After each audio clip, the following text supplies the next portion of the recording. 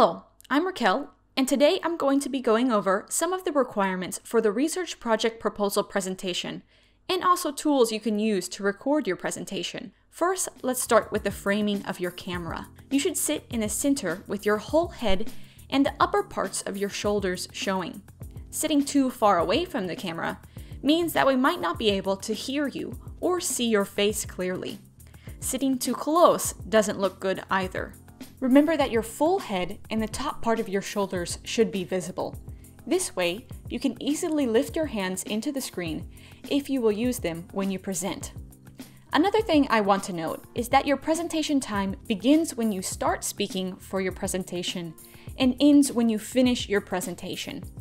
This means that if you present for 8 minutes and 30 seconds, but your video clip is 10 minutes long, tutors will note that your presentation was under the time limit. We understand that it may take a few seconds for you to start and stop the video recording software, so that time is not counted as your presentation time. Let's talk about the software you can use to record your presentation. As you know, your presentation must be on one half of the screen and your camera on the other half. This may create a challenge in finding free software that allows you to record your presentation and a large image of yourself at the same time. We do not require you to use a specific software, but I will recommend three options that you can try depending on your device. These options will be OBS Studio for PC, QuickTime for Mac, and Zoom for individuals who only have a phone camera. Let's first start with OBS Studio. OBS Studio is a software you can download from obsproject.com. It is usually used for video streaming online. You can also use it to record various things on your computer. On the website, you can see that there is a download for Windows, Mac, and Linux users. Mac users may try to use OBS Studio, but they may have some difficulties using it. Once you have downloaded the software, you should install it and then open the software. First, you need to make sure there is a scene. You might already have a scene open, but if not, click on the plus sign to add a scene. You can rename it if you'd like. Next, you need to add your web camera. In the sources box, click the plus sign at the bottom and find video capture device. You can choose a name and then click OK. OBS Studio will try to find your webcam, but if it doesn't find it, search for the device in the drop-down menu. Once you see the correct webcam, click OK. Your webcam will then appear in the large black box. You can adjust the size and shape to fit approximately half of the screen. Now let's move on to adding in the presentation.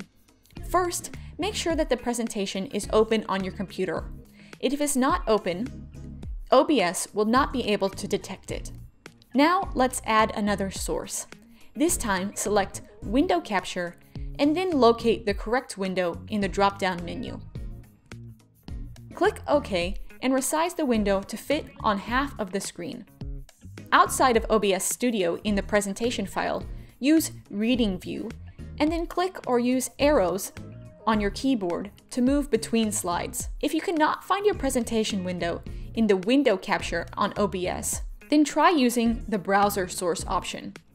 For this, you will need to upload your presentation to Google Drive. Then click Share and make sure the link that you copy says anyone on the internet with this link can view. Copy that link into the URL box on OBS Studio for the browser source and click OK. To control the browser, right-click the source in OBS and then click Interact. A new box will appear that lets you control the browser. Once you have everything set up, you can click Start Recording.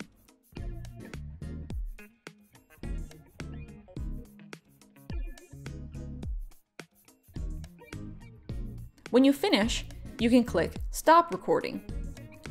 Under File, click Show Recordings to be directed to the file that your recording is stored in. Your file will be labeled with the date and time that you recorded. Now, let's see how to record on a Mac. First thing you want to do is open up your PowerPoint presentation and just set it to the side. Next, for your video, you're going to use QuickTime Player.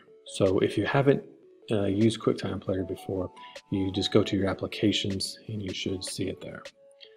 Uh, the first time that you open it, you will be directed to click on your video and camera. So it's very easy to do. Once you do that, then you'll go to File, and then you're going to click on New Movie Recording.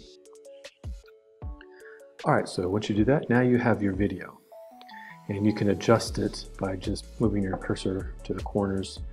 And it, to follow the guidelines, your video needs to be next to your PowerPoint presentation. It needs to be about the same size. Okay, so you have to uh, adjust it, mess with it a little bit.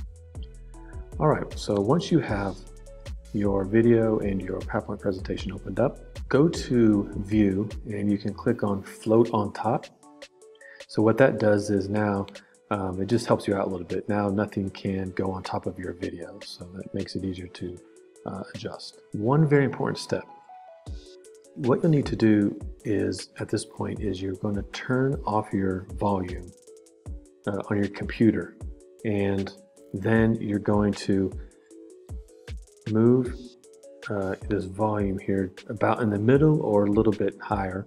I'm not going to do it because with the screencast it'll uh, mess up the sound, but that is very important to do because if you don't do that, then obviously you won't be able to hear anything.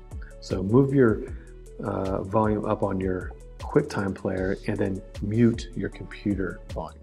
Make sure that your HD camera, there's a check mark next to your HD camera and a check mark next to your external microphone. Okay, so now you're basically ready to um, record your presentation once you have everything nice and situated. Go to your QuickTime Player file and click on New Screen Recording. Then click on the red button here. And then you will set up your screen. So you'll just open this up, make sure that your both your video and your PowerPoint is inside this screen. So whatever's on inside of the screen is what's going to be showing in your presentation. And now you're ready to record. So you'll just click on start recording and then you can do your PowerPoint presentation. You can move the arrows uh, to adjust, uh, to move from one slide to the next. So once you finish your recording, you will need to click on Control, Command, and Escape. Right? And then that will end your PowerPoint presentation. Next, you will save it to your documents. And that's it. Your uh, file will be saved as an MOV, and then you can load that up into your Google Drive. The final option for recording is for students who only have a phone to record their presentation. You will still need a computer to run the Zoom application and to show the presentation, however.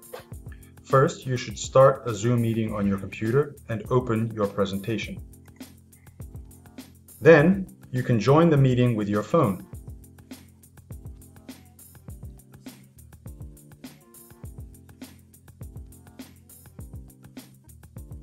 Once the screen share is live, click on record on this computer. When you are when you are finished with the presentation, you can stop the recording. At the end of the meeting, the video will convert to a video file. The phone camera option with Zoom is only possible for students who do not have a webcam. Since the screen cannot be half video, half presentation with a phone camera on Zoom, it should only be used for those who have no other option. To conclude, you are not required to use these applications, but if you use another software, the camera image must be clear and smooth. If you are using a webcam, then your webcam must take up half of the screen. Please practice using the software in advance to be adequately prepared. Thank you for watching and good luck with your research project proposal presentations.